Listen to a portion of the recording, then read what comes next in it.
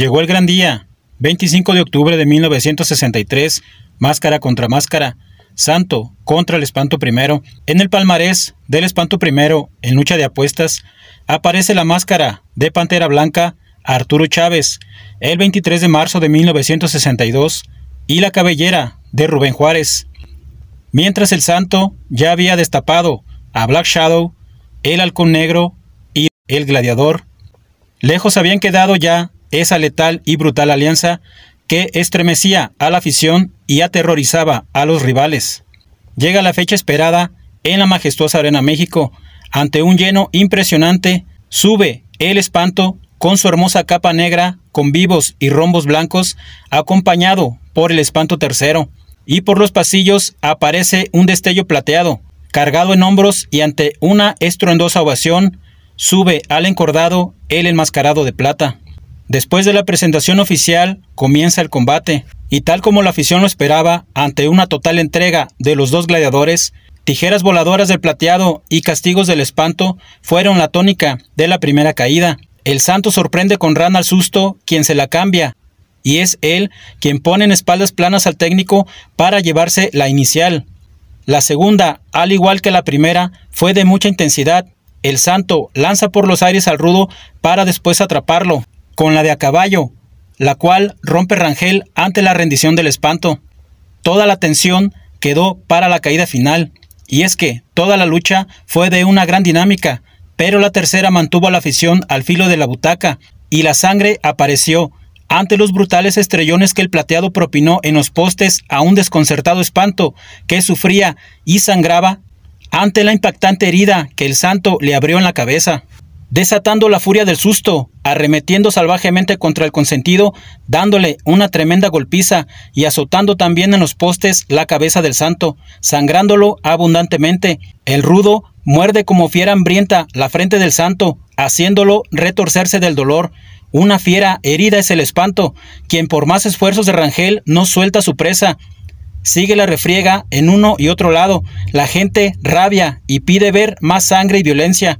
Nunca antes, escúchenlo bien y con todo respeto para los anteriores y futuros rivales de Plateado, nunca antes había estado el santo tan cerca, pero tan cerca de perder su legendaria máscara. De repente el espanto lo atrapa con un tirabuzón, la tapa del santo ahora es carmesí, no queda nada del brillo de plata, pero aguanta el castigo. El espanto aprieta con lo último que le queda de fuerza, pero el santo logra zafarse y cae como muerto al centro del ring. Entonces pasa lo increíble. Machetazo a caballo de espadas. El espanto aprovecha la situación y le aplica la de a caballo.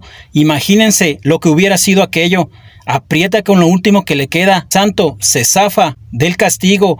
Cae el espanto hacia el frente. Y ahora la de a caballo la aplica el plateado. Rachel pregunta, el espanto no responde, el santo aprieta, el susto no reacciona y Rangel agita los brazos, le da la victoria al santo, quien suelta a su rival.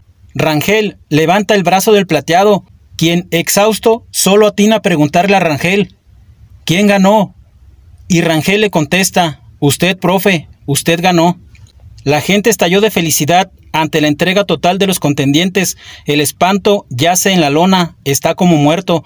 El santo reclama su trofeo y ante la lamentable condición del rudo, Rangel decide comenzar a destaparlo. Ante el reclamo del espanto tercero, pero no había de otra. Le arrancaron la máscara, se la entregaron al plateado, quien toma del brazo al caído espanto y lo voltea para que la gente viera su rostro. El espanto tercero trata de cubrirlo con una toalla negra y el santo se lo impide. Entonces el anunciador levanta la voz y dice, el espanto dice llamarse José Eusebio Vázquez Cisneros, pero en realidad sus apellidos eran Vázquez Bernal, oriundo de Torreón, Coahuila y contar con 30 años de edad, quien anteriormente luchara como el Torbellino Vázquez. Rangel levanta el brazo del santo, quien, desfallecido, Levanta a su vez su trofeo al cielo, agradeciendo a todo su público por el tremendo apoyo del que fue objeto. Por el otro lado, el derrotado es levantado por su gente, apenas puede mantenerse en pie.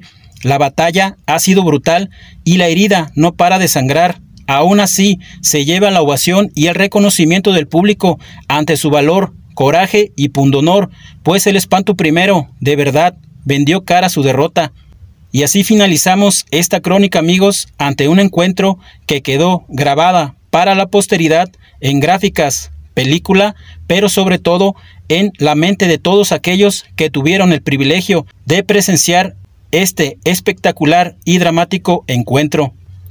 Muchas gracias amigos y nos vemos en la próxima.